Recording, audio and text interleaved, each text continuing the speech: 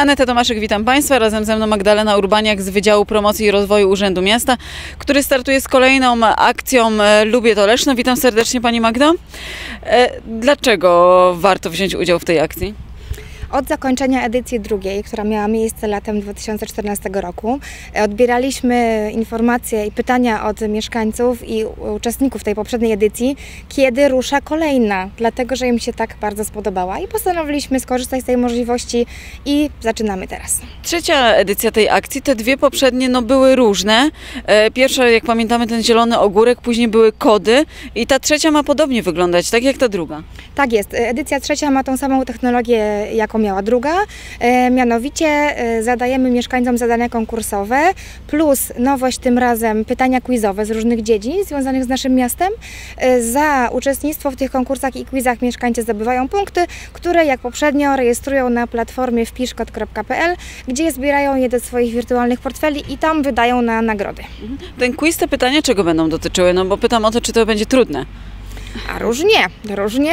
Będą dotyczyły dziedzin, które naszego miasta dotyczą, dlatego że przygotowywały je e, nasze instytucje miejskie głównie, czyli będzie mowa o zieleni miejskiej, o wodociągach, o śmieciach na przykład. Czyli tak napra- naprawdę no, wiedzę mają mieszkańcy Leszna, tak? Czyli konkurs głównie skierowany do mieszkańców Leszna?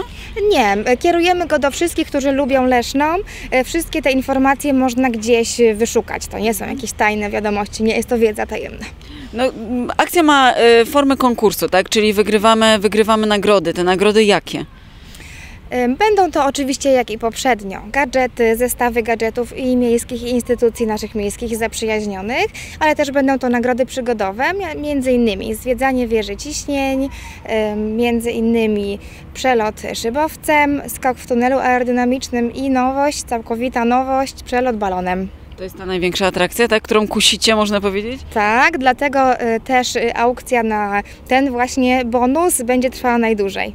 No właśnie chciałam zapytać, jak to fizycznie wygląda? Czy to jest też skomplikowane, to logowanie się, e, odpowiadanie na pytania, no i wygrywanie? Absolutnie nieskomplikowane. Rejestracja trwa jakieś pół minuty.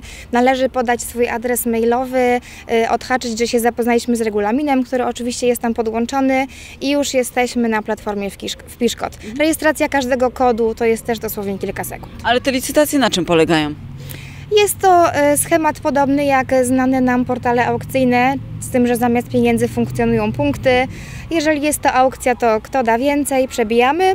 Jeżeli jest to kup teraz, to jest podana określona liczba punktów, którą należy wydać na dany przedmiot. Czyli absolutnie taka forma no, no nie zniechęca, no bo jak, jak to było w tej poprzedniej akcji? Dużo było uczestników tej drugiej edycji? Tak, to było prawie 300 osób wówczas. Teraz mamy też już zarejestrowanych kilkadziesiąt od piątku. No właśnie, bo akcja ruszyła kiedy? 1 lipca, tak? Tak, ruszyła 1 lipca, y, zakończyliśmy już dwa pierwsze konkursy, dzisiaj kończymy trzeci i ogłaszamy kolejny. Co, co już zostało rozdane? Y, Nie, nie zakończyły się jeszcze aukcje nagród, y, także tego jeszcze nie wiem, natomiast licytuje się już kilka pierwszych, y, jakby pierwszych tych pomysłów na nagrody. Walka zacięta tam trwa? Tak, tak, rozkręca się już. W jednej aukcji jest chyba sześć osób, które walczą. Dobrze, a te ramy czasowe to do kiedy?